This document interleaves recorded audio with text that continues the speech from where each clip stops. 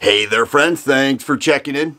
For over six months now, we have seen a shortage in firearms and ammunition, and it's been very disturbing watching it take place. We're used to paying one price, and then it skyrockets over 100, 200% for that exact same product. And part of the reason is supply and demand. We've seen so many people purchase guns, and then they need ammo, and it just increases the price because there's not a lot out there. We see, um, you know, the supplies to make ammo. The companies that are purchasing ammo are purchasing it at a higher price. They have to offset onto the customers, and, and that's what's happening. And it's happening big time. But what I did not know in terms of that rip-off company, Cheaper Than Dirt, who is amongst the worst. You know, every time I make a video about Cheaper Than Dirt, the feedback that I get is it's called capitalism. Supply and demand. Don't you understand economics?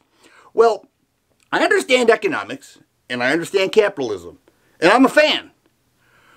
But what I did not know is that in the state of Texas, which is where Cheaper Than Dirt is located, that it is illegal to price gouge during a disaster. Greg Abbott, the governor, declared the state of Texas a disaster and all necessities cannot be price gouged. And Cheaper Than Dirt did that because ammunition in the state of Texas is a necessity. And over a thousand complaints went into the Attorney General's office saying this company completely ripped us off. Like they, they put something in their cart, they may have had five to ten items in their cart, and then when they went to check out, cheaper than dirt, took their credit card information, took their money, but then they raised the prices after they were in that person's cart. Completely illegal, immoral, and really a black eye to anybody who got ripped off, you know, from cheaper than dirt. So there were a thousand reports, and then the Attorney General looked into this and investigated and found over 4,000 cases of price gouging. Now, if you looked at cheaper than dirt, you would see that they were selling firearms like a rifle for $4,000, a popular handgun for with an MSRP about 300 for $850. A CZ Scorpion, $3,800. Like this was happening, and in Texas, it's illegal. So they brought suit, and they are now forced to pay back to their customers cheaper than dirt $403,000. Just shy of that. And I'm hoping that number raises as more people come forth with evidence of how they got ripped off from cheaper than dirt. And I'm also hoping that that serves as, as an example to many of the other companies out there that say, you know, this is a good time to make some dough. You know, everybody's getting their government money back. They're going to be looking to, to buy some ammo. Everybody's, many people trying to replenish what they've already shot, shot off throughout the years.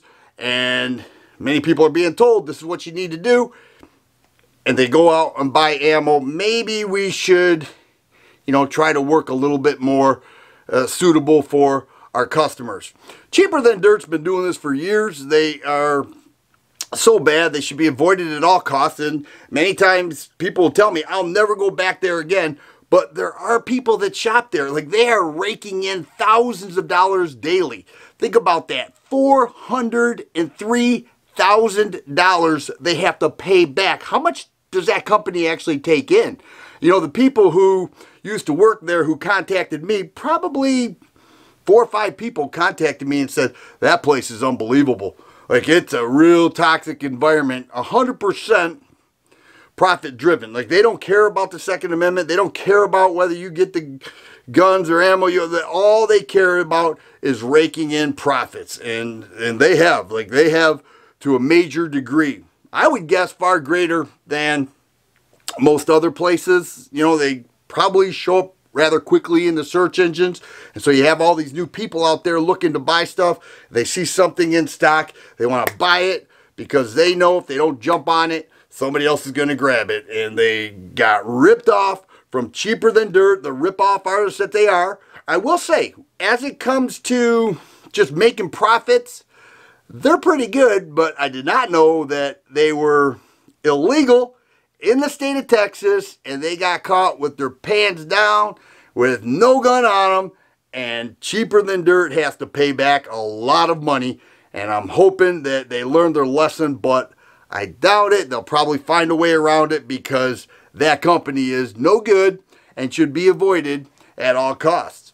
If you like videos like this, please subscribe and share. I always appreciate the thumbs up button. Thanks for watching and you guys be safe.